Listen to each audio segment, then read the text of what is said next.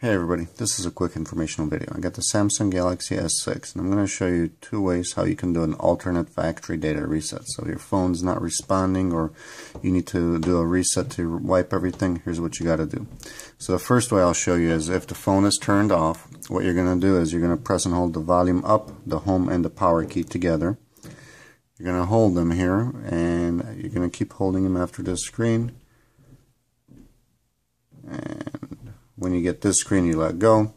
And now basically we're going to just let it you know uh, we're going to wait for it to come on to get you know, to give you the, the options here for the reset.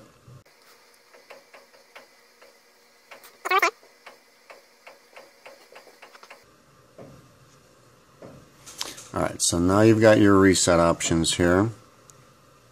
So you're going to use the volume down to highlight wipe data factory reset and you're gonna select uh, select it with the power key.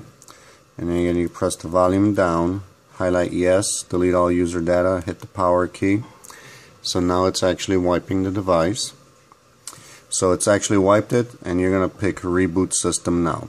So basically the reboot system now it'll start coming back on it'll start booting up.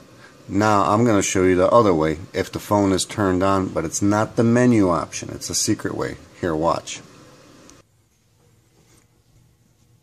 Alright, so the other way to reset your phone is if it's on, you're going to press and hold the power and the volume down key. You're going to keep holding it for about 7 to 10 seconds. And the other way to do the reset here, you're going to let go and now you're in your maintenance boot mode screen. So in the maintenance boot mode screen, you pick number 2, scroll down for factory reset.